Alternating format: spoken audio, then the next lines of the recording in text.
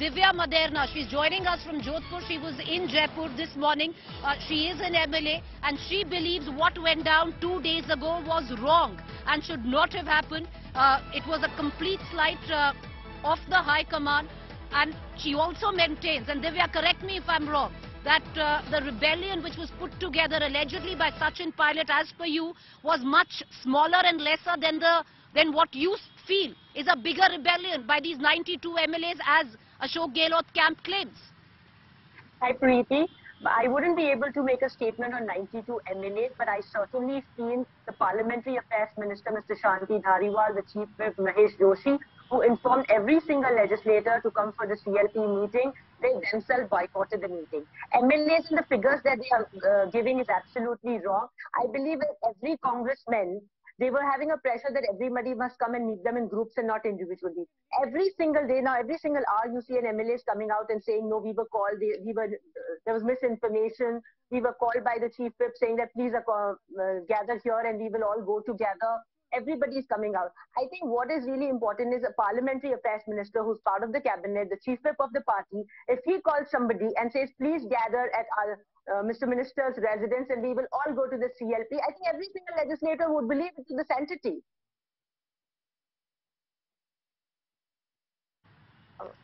All right, uh, you know, Divya, you say you don't know if these are actually 92 MLAs. Have you been able to touch base with many of your own colleagues, your own party colleagues? What do they make of what actually went down? Where do the numbers tip right now? Are they still staunchly in favor of Ashok Gehlot? No, uh, you know, I don't think there was anything pro Ashok Gehlot or against Ashok Gehlot anywhere.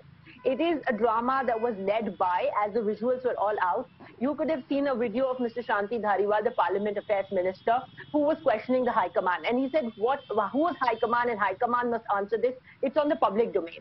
So as a Congress worker, everybody is hurt. And I'm sure the, even the Chief Minister must have intervened and he must have been hurt as well that you don't make these comments and you don't do parallel meetings like these. But, you know, Divya, do you actually believe that uh, Ashok Gehlot had absolutely no idea that this meeting would have been carried on uh, while there was a CLP called at the same time? These are all allegedly his loyalists. Benefit of doubt because if uh, Mr. Parli Parliamentary Affairs Minister was questioned and the kind of language that he used for High Command, I'm certainly sure that no Chief Minister or no senior member is going to tell him to make comments like these. So I would like to give him a benefit of doubt.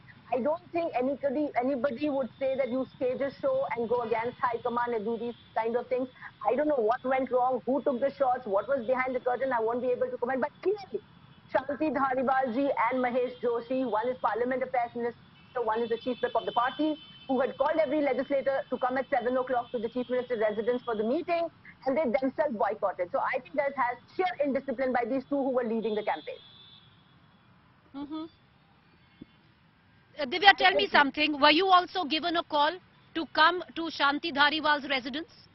No, I wasn't. I had only one call by the chief whip the previous evening to come to 7, uh, at 7 o'clock to the chief minister's residence. So you were you were not called to Shanti Dhariwal's residence. You were called I to the chief minister's residence for the official CLP. Right. Divya, I want to ask you, uh, you as an individual, uh, will you comply if the High Command actually picks uh, uh, Sachin Pilot as the one who will take over from and if uh, Ashok Gehlot steps down or in the scenario that was earlier? Preeti, you know, to be very honest, when the fiasco in 2020 happened, I was very much there at the Fairmont of uh, uh, where Mr. Gehlot was uh, leading as the CLP leader. And they stood and stood uh, by them because the official CLP leaders the meeting was held there and the official Congress observers were sent. I will be absolutely okay if the Congress president decides that Mr. Gehlot is going to continue. I will be absolutely okay if she happens to choose another name.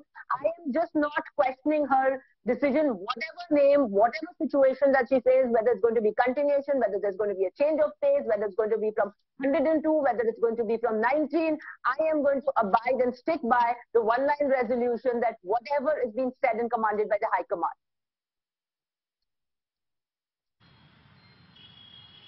What is going down right now? Uh, have you been able to talk to the other MLAs as well? Is there consensus that they were, some of them, uh, you know, were taken for a ride with what happened two days ago? Is there consensus building up that, you know, they need to speak up for the High Command? What went down was wrong? Uh, you know, it's already there in the public domain. You see Mr. Khushbir Singh Jojawar has come out, given a statement. Indira Meena, another legislator, said, I don't know what was what papers they made me sign. You had Prashant Bairwa who said, I'm going to stick by Allah Kaman.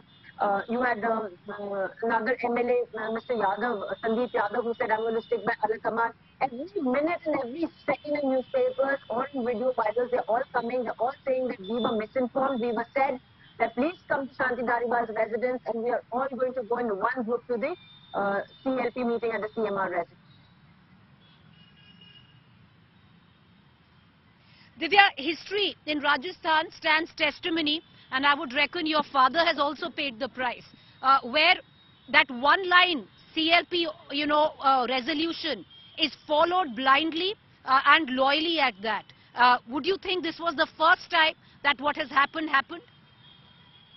I totally believe we, I think as Congress, uh, disciplined Congress workers, with our faith and loyalty in the uh, Congress party and the High Command, there has always been a resolution, a one-liner. It has been in 98, it has been in 2008, it has been in 18. Again, what happened at Fairmont uh, uh, Hotel in 2020, whatever decisions the High Command has taken, and I believe that's a culture in Congress in pan-India, not only Rajasthan. Everybody abides by whatever decision is by, taken by Congress president. And if somebody like Shanti Dhariwal gets up in a meeting and says, who High Command cannot do this or can High Command do it. I believe we're not spineless legislators. As congressmen, we're not spineless. We are going to condemn and we will not let High Command be questioned in this fashion at all. Is there now, you know, because now, uh, you know, my last two questions to you, Divya. Is there now a sense by certain group of the MLAs to get together and vocally come out and stand against what at least some of you feel is bullying by the cabinet? Uh, well, I don't know if there's a group of people who said they were doing. Individual people, people are coming out. But the one thing that the media didn't cover that night is, but there were you know, um, a big number of group uh, of MLAs who, other than the Sachin Pilot camp, who were part of the 102 with Mr. Gehlot in the hotel who were there at the CMR. And also look at the other fact. The Chief Minister himself went to the hotel where the observers were. And he brought the observers back to his residence to take a part and to lead the CLP meeting. There's certainly something that has gone wrong on the part of Mr. Dhariwal and the Chief Whip, uh, Mahesh Joshi. There are no two ways about it.